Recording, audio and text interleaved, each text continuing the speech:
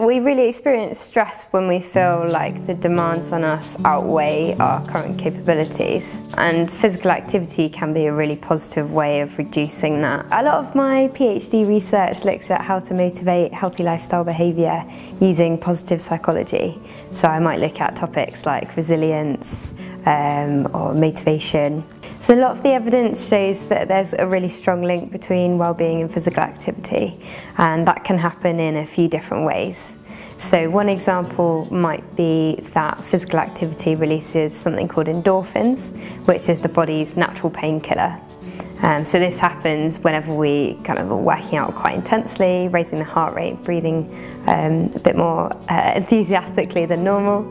Um, the body releases these feel-good chemicals which can help us feel a lot more positive, really boost the mood very directly. Other associations between physical activity and well-being come from increased confidence.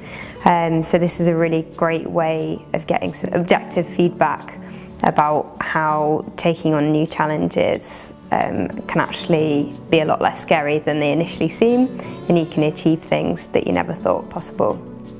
Um, and physical activity is a really great way in which to do this because um, you can't dispute the things that you achieved before. So it might be that you uh, run a distance that you never thought you'd be able to before. Um, and that's a really great way of looking back on things that you, that you have achieved and knowing that you're capable of doing things that previously you thought you couldn't. One of the studies in my PhD looked at factors in the success of something called parkrun. Um, and parkrun is a really popular physical activity initiative, so it's all over the world now. Um, and it started in the southeast. Um, just a group of a couple of friends that started running around a park and now parkruns are held at loads of different locations all across the UK at 9am on a Saturday morning. And a lot of people go down to parkrun, run a 5k and then hang out together, have a really nice social experience as well. I was really interested in parkrun because it seems to have changed the relationship that a lot of people have with exercise. Um, so it's really encouraged a lot of people who didn't typically run before to get into some form of physical activity. Um, and our research really showed that this had a really great impact on the rest of their lives as a whole. So they felt a lot better able to cope with stress.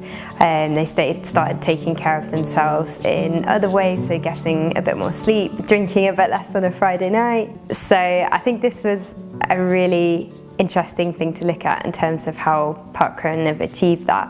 Um, and what we really saw was that because parkrun's so inclusive, it's done a really good job of catering for loads of different people. I think university in particular, it's a great way to get into um, physical activity um, and also it's a great way to experience challenges in an environment where there's a lot of support to help you with that. And a lot of the evidence really shows that we're at our happiest and our healthiest when we're taking on these just manageable challenges, so just pushing ourselves outside of our comfort zone.